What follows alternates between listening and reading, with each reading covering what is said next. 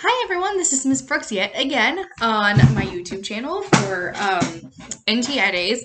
Um, I just want to, before we get started with the book reading again, I just want to clarify a few things. Um, if you don't have your packet yet, if you don't end up getting your packet by tomorrow afternoon or Saturday, please let me know and I'll try and see where that package is because um, it's going to have a lot of the stuff that we're going to keep doing.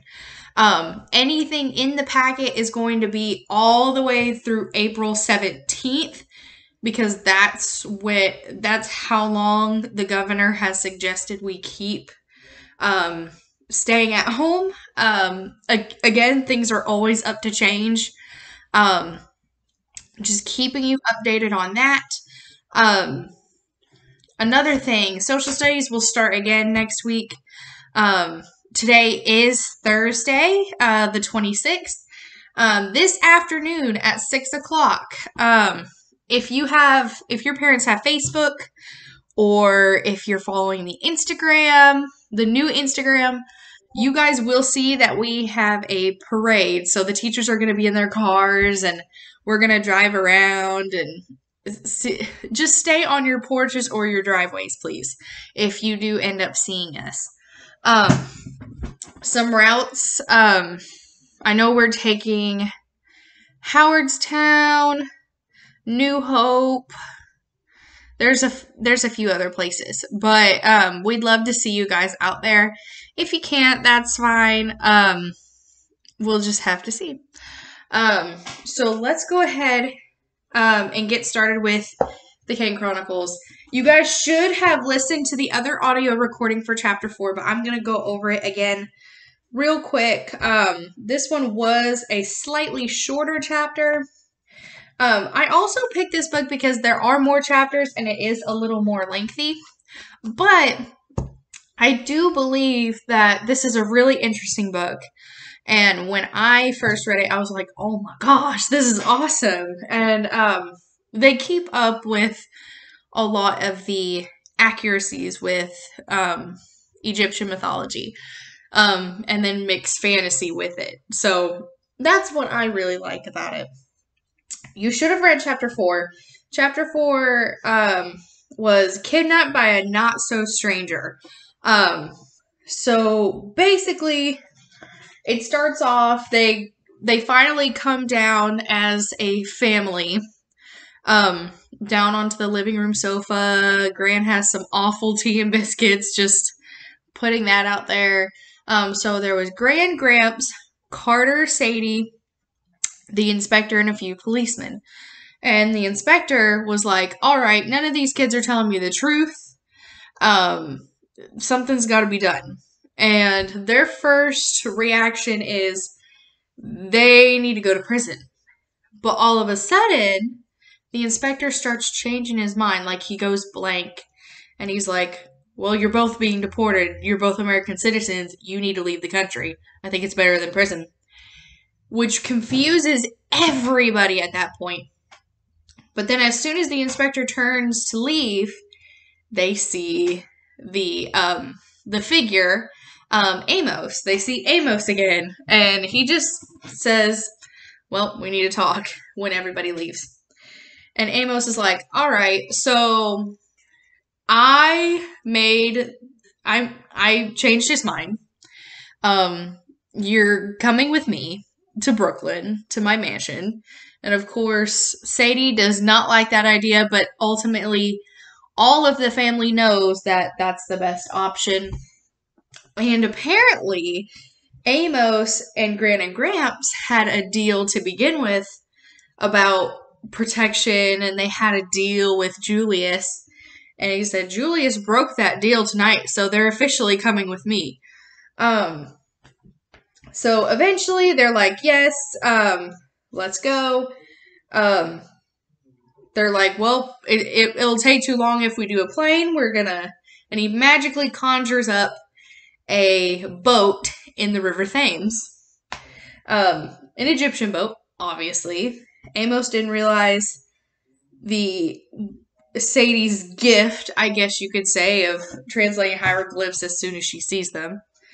Um, but then if you look on page 48, like right at the very end, um, it's uh, who are you? Um, we can't just get go off with some stranger. I'm not a stranger. I'm family.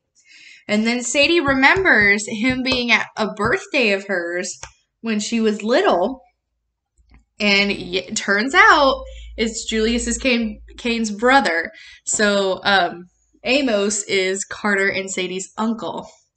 And of course, we know Muffin. Muffin's acting all weird because she's like, all right, let's go, let's go, let's go. So that's where we ended out. Um, so that last chapter was in Sadie's point of view. Now we're going back into Carter's point of view. Um, chapter five. This is a longer chapter, but we'll keep things going.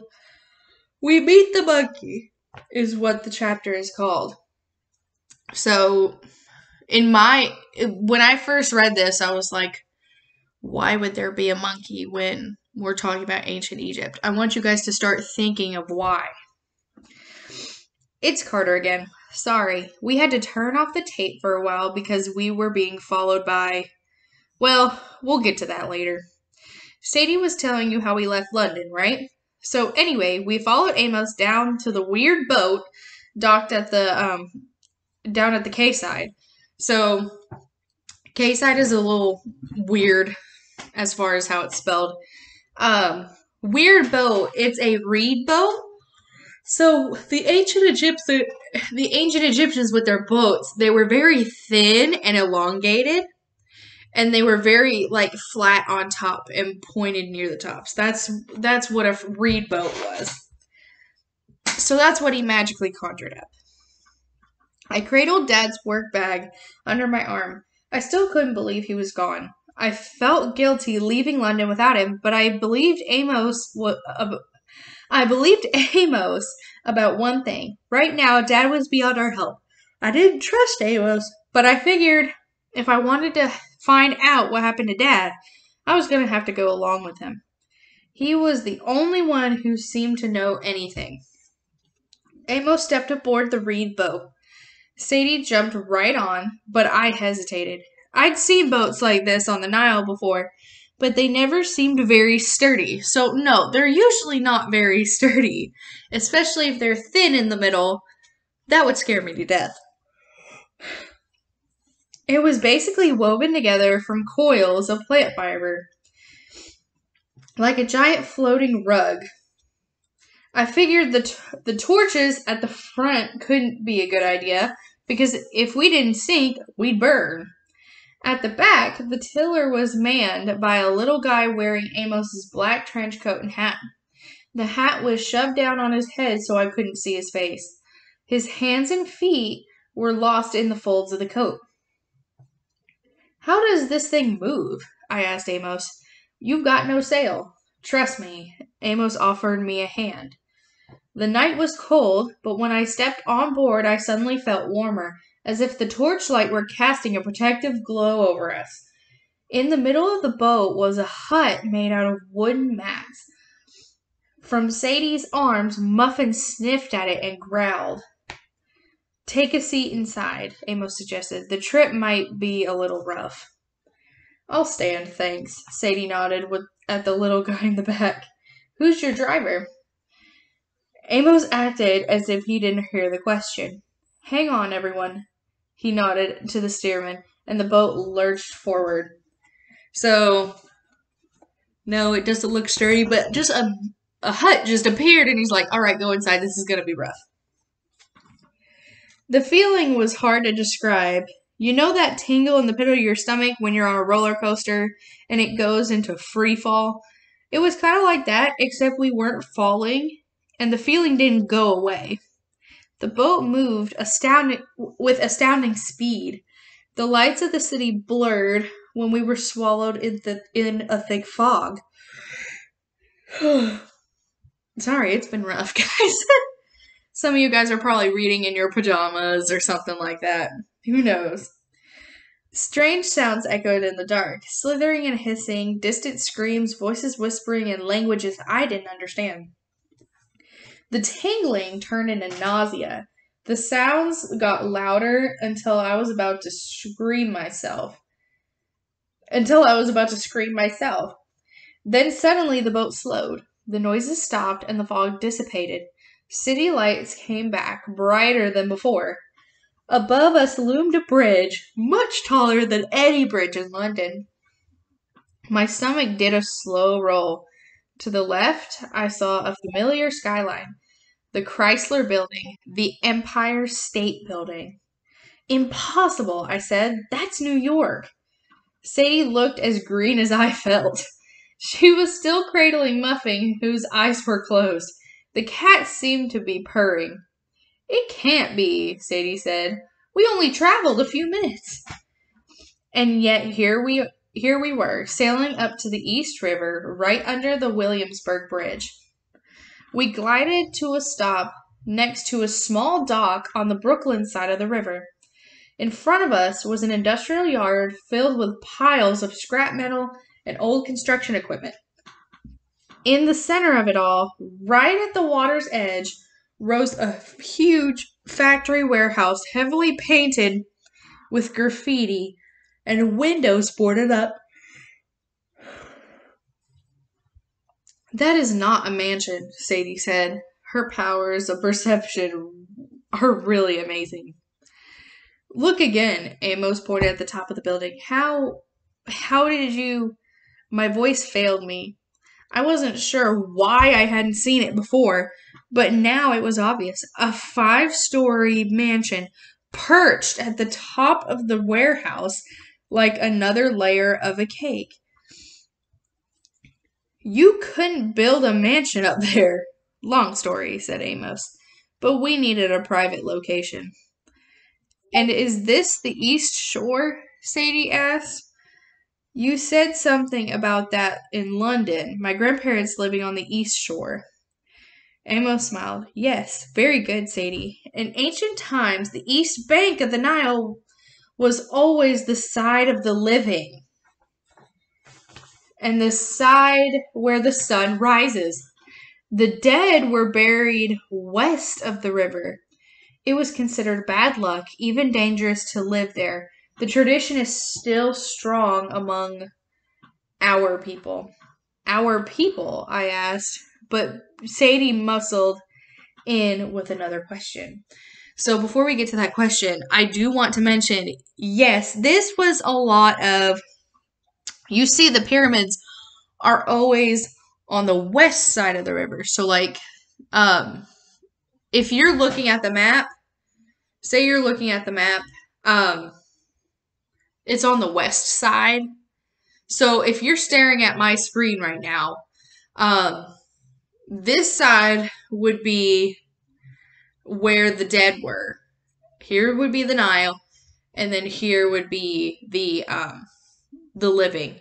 So Valley of Kings and the pyramids were always on the right side, like always on the west side.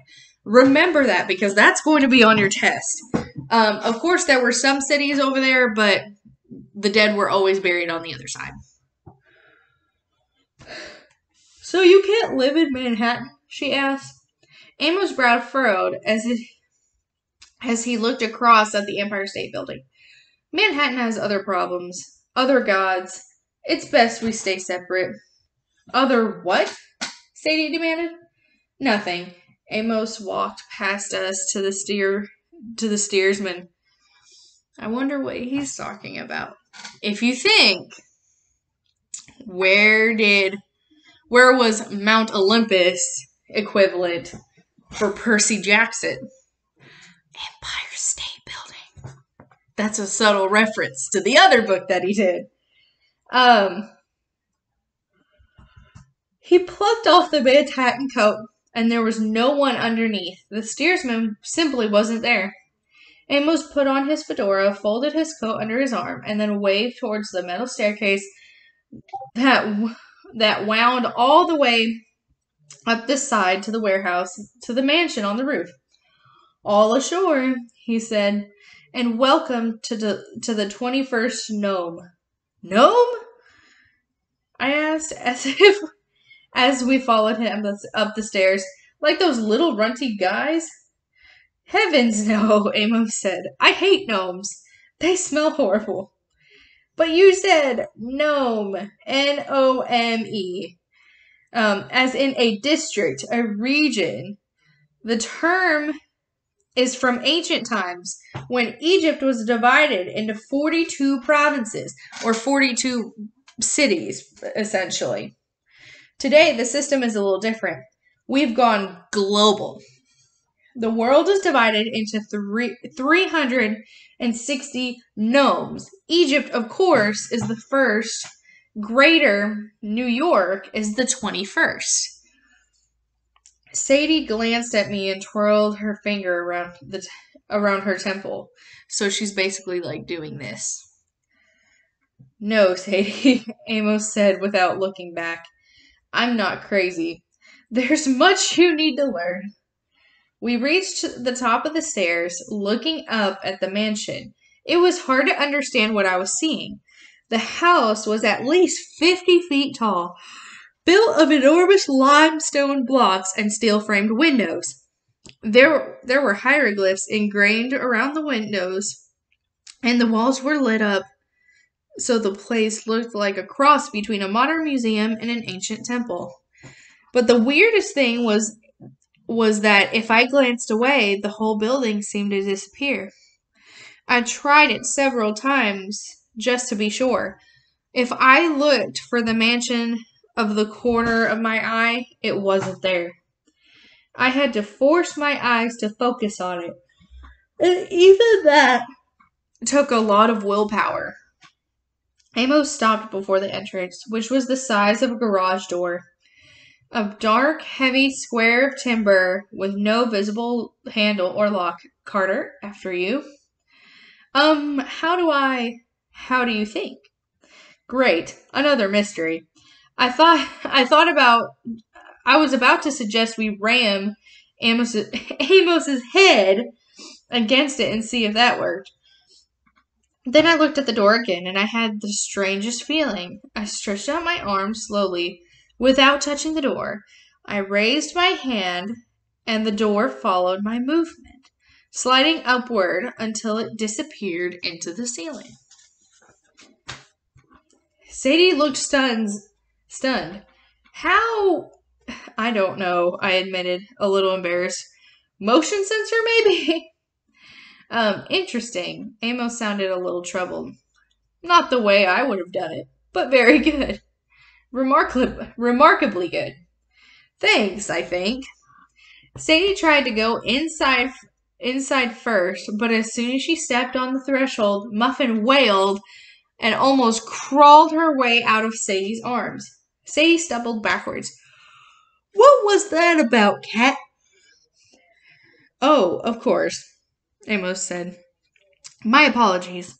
He put his hand on the cat's head and said very formally, You may enter. The cat needs permission? I asked. Special circumstances, Amos said, which wasn't a which wasn't much of an explanation. But he walked inside without any word, any uh, without another word. We followed, and this time Muffin stayed quiet. Oh my god. Sadie's jaw dropped. She craned her neck to look at the ceiling, and I thought the gum might fall out of her mouth. Yes, Amos said, this is the great room. I could see why he called it that. The cedar beamed ceiling was four stories high, held up by a carved by carved stone pillars engraved with hieroglyphs. A weird assortment of musical instruments and ancient Egyptian weapons decorated the walls. Three levels of balconies ringed the room, with rows with rows of doors all looking around the main area.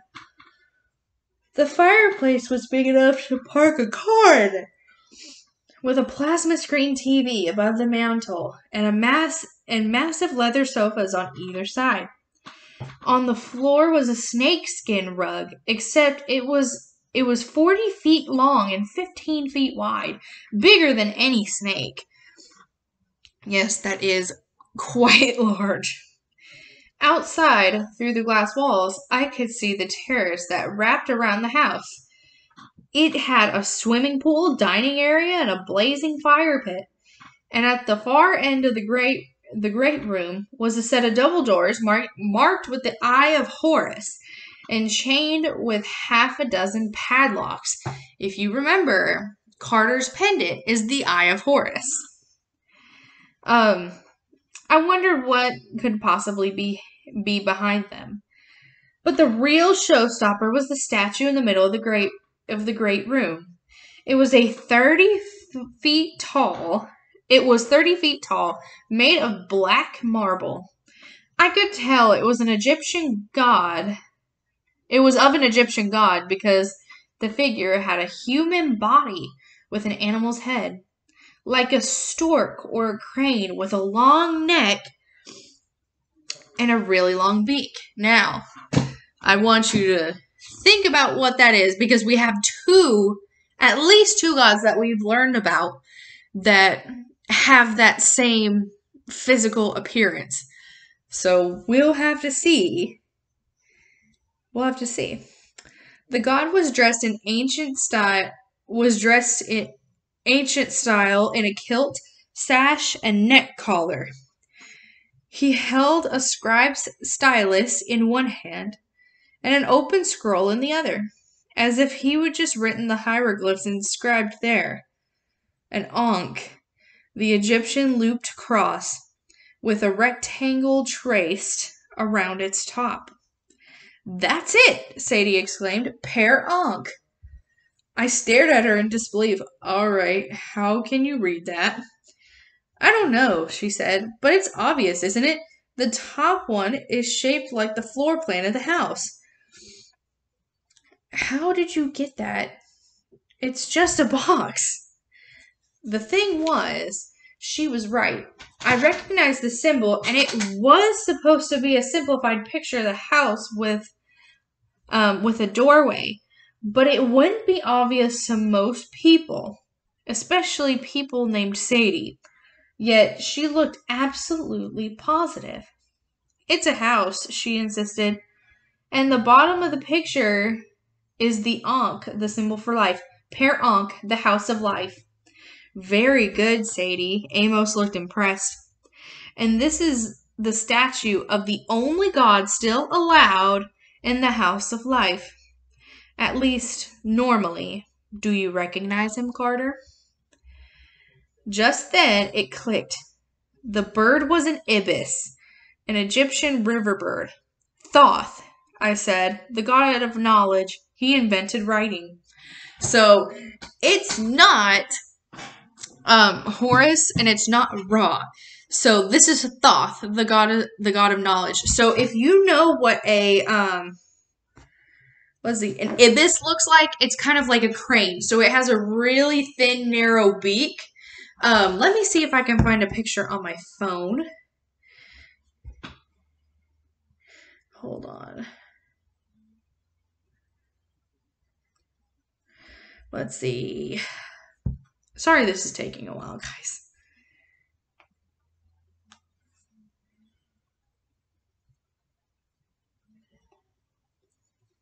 Okay, so this is what Thoth looks like.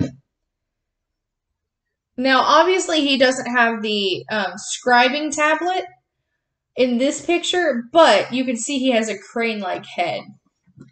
Um, I want you to relate that with what Julius Kane usually does. He studies, and he's an Egyptologist, so that kind of makes sense.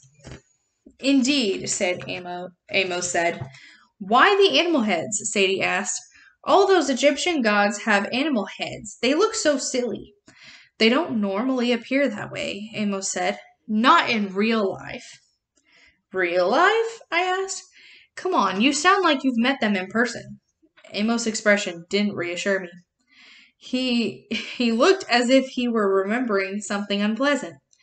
The gods could appear in any forms, usually fully human or fully animal. But occasionally as a hybrid form like this.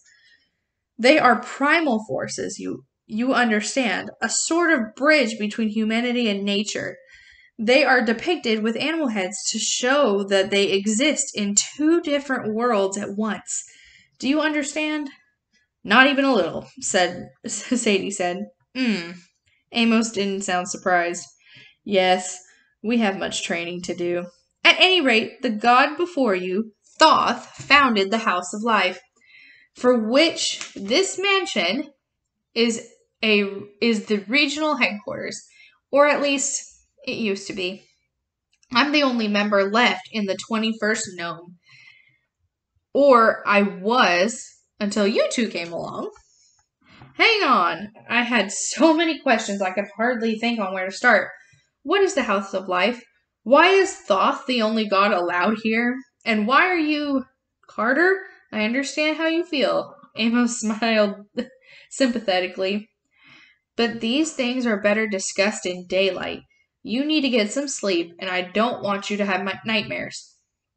You think I can sleep? Meow. Muffin scree stretched in Sadie's arms and let loose a huge yawn. Um, Amos clapped his hands. Khufu. I thought he'd sneeze, but Khufu is a weird name. But then a little dude about three feet tall with gold fur and a purple shirt came clambering down the stairs. It took me a few seconds to realize it was a baboon wearing an LA Lakers jersey.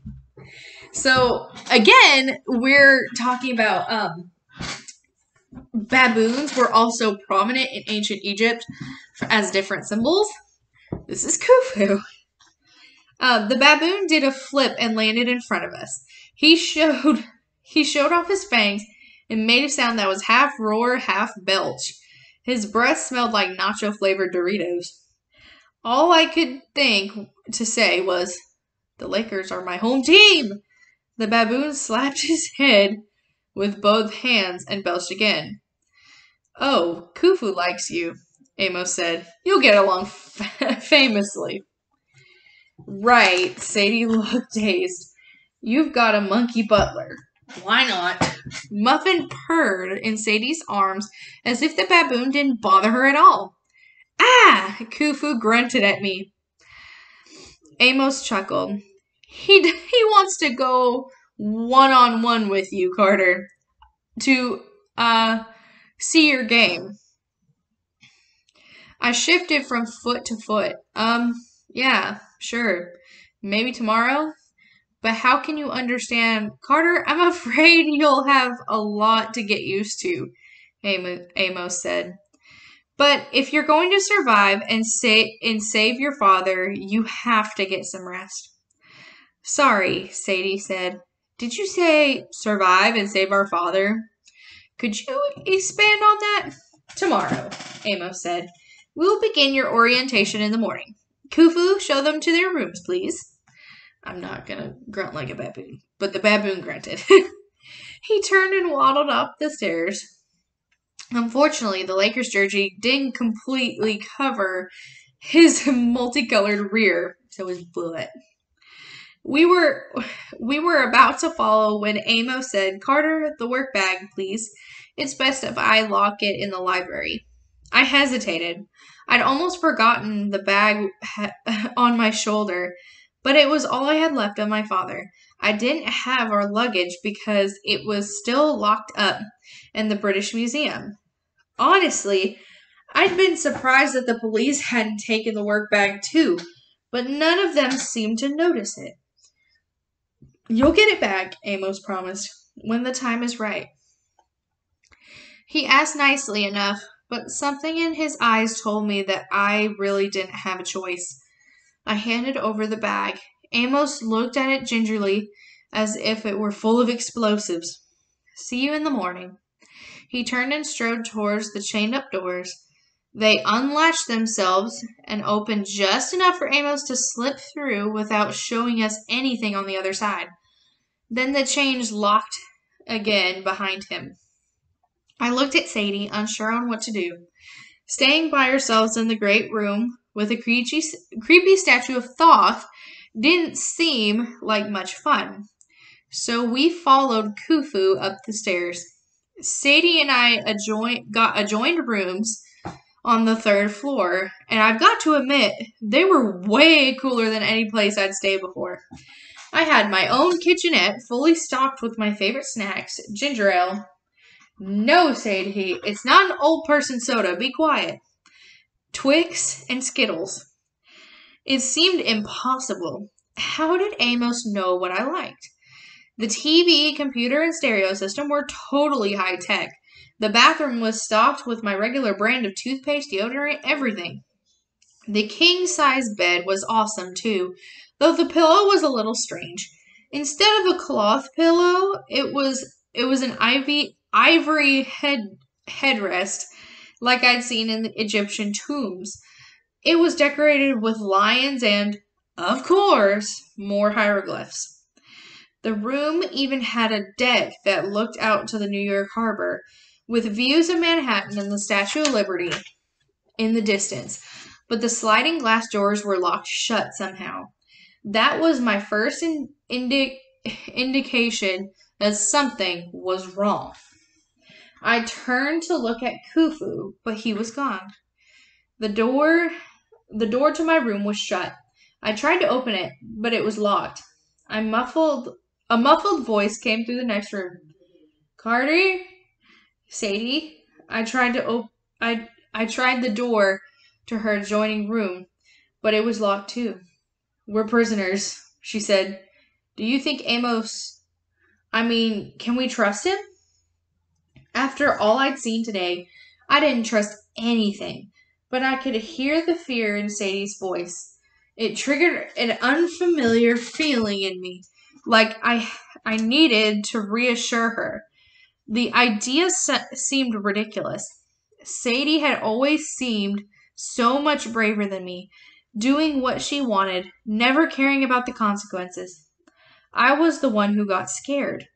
The, but right now, I felt like I needed to play a role I hadn't played in a long, long time.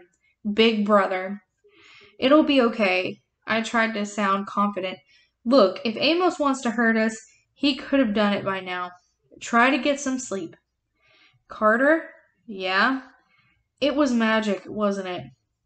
What happened to Dad at the museum? Amos's boat? This house? All of it's magic. I think so. I could hear her sigh. Good. At least I'm not going mad. Don't let the bed bugs bite, I called. And I realized I hadn't said that to Sadie since we lived together in Los Angeles when Mom was still alive. I miss Dad, she said. I hardly ever saw him, I know I know, but I miss him. My eyes got a little teary, but I took a deep breath. I was not going to go all week. Sadie needed me. Dad needed us. We'll find him, I told her. Pleasant dreams. I listened, but the only thing I heard was Muffin meowing and scampering around, exploring her exploring her new space. At least she didn't seem unhappy. I got ready for bed and crawled in. The covers were co- comfortable and warm, but the pillow was just too weird. It gave me neck cramps, so I put it on the floor and went to sleep without it. My first big mistake.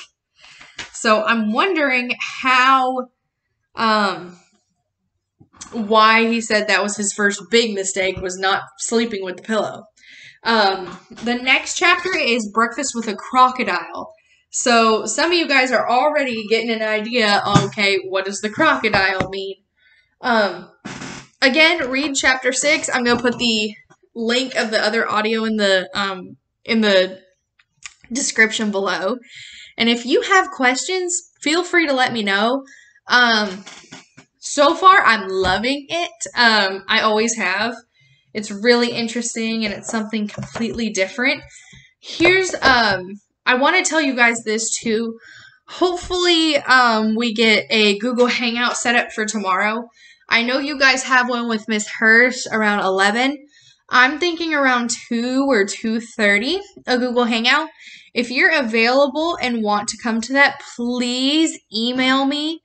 Um do not dojo me because I, I always think it's your parents dojoing me. Um, and if they have questions, feel free just to let me know. All right, bye guys.